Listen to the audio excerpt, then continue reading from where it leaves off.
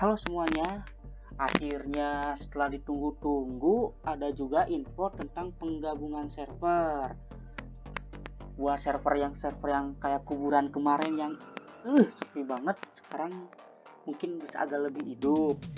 Cuma sepertinya di Mino masih banyak dilema antara pengen fancy karena merger atau malah makin rame. Kita lihat dulu nih update-nya nih.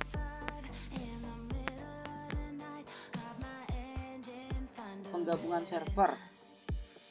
Daftar server yang akan dibagung, digabungkan ada grup A Cerberus, Apocalypse, Typhon King nah ini nih spin si Apos Apos Cerberus sih. Grup B ada Manticore, Minotaur, Sunworm. Aduh Minotaur sama Sunworm kan rame. Udah rame makin rame. Cuma kalau nggak salah server Manticore itu masih inflasi bray siap-siap aja ini yang di Mino aduh parah ini. Grup C ada Vel Guardian Rakitus Ross. Grup D Lily Argenta Velskud grup E Gerain Cassius 3 Dekard grup F Kylan Teramai Karakul. Grup G Erwin Barnak Winsay grup H Lofi Derwin Karahan. Grup I Lunaria sama Asia. Oh cuma grup I doang nih yang cuma dua server. 1 2 3 4 5 6 7 8 9 totalnya menjadi ada 9 grup mungkin jadi 9 server. Rincian. Daftar server setelah digabungkan tidak akan ada nama server baru untuk server yang telah digunakan. Digabungkan ke 26 server akan ditampilkan sesuai nama yang sekarang. Kamu dapat terbentuk server seperti server yang digabungkan bersama oh jadi meskipun nanti digabungkan nama-nama servernya tetap Thailand, Teramai, Karakul, Manticore, Minotaur, Sangwop tapi ketika kamu masuk Thailand di saat yang sama juga berarti kamu masuk ke server Teramai ataupun Karakul. Begitupun yang lain duplikasi nama guild nih. Jadi kalau ada guild love I love WOD di Cerberus akan tetap memiliki yang sama sementara I love sedangkan di Avo ataupun Typhon Kim otomatis menjadi pakai hashtag satu. Lalu hashtag dua pakai nomor.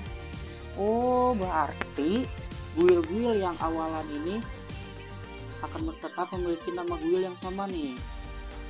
Soalnya kan tuh Cerberus kan awal tuh. Yang lain akan ngikutin pakai hashtag nomor.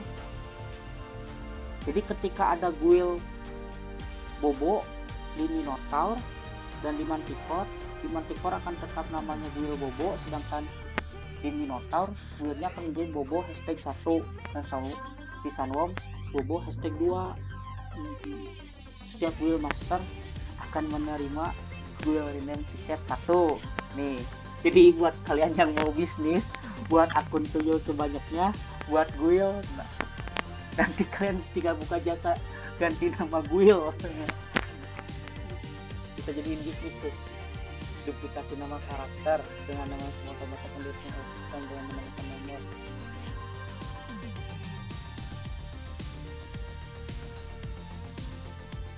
anjir rugi banget ini nih. Jadi kalau misalkan kalian punya nickname yang sama dengan oh ada ada ya jadi ketika nanti ada nickname yang sama di server lain dengan nickname kalian kalau kalian di awalan server server awalan ini kalian akan tetap sama. Sedangkan kalau di sini yang kedua atau ketiga kalian akan dirubah otomatis pakai pakai nomor. Tapi tenang aja PODN memberikan satu karakter rename tiket gratis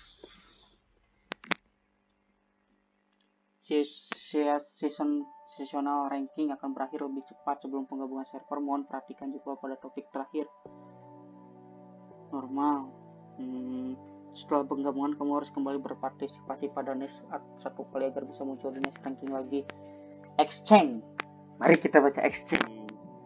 Kamu tidak akan bisa mendapat mendaftarkan item untuk penjualan pada exchange selama dua minggu sebelum penggabungan semua item pada exchange akan dikembalikan ke kotak surat pemiliknya. Sistem exchange ditutup.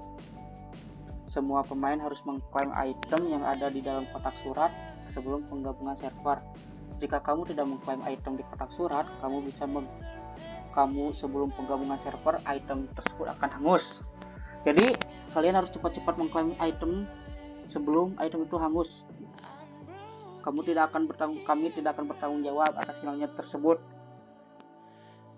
jadi sebelum ta sebelum tanggal penggabungan server semua item yang ada yang telah dikembalikan oleh pihak WODN kalian harus claim kalau tidak itu akan hangus ya. Hati-hati tuh.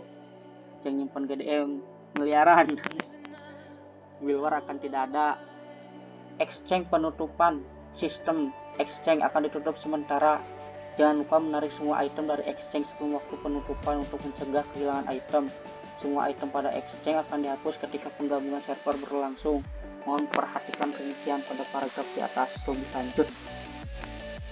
Berarti penutupan exchange tanggal 28 Mei itu tiga hari dari sekarang ya. Awas 3 sampai 2 hari lah. Takutnya saya upload tanggal 26 Mei.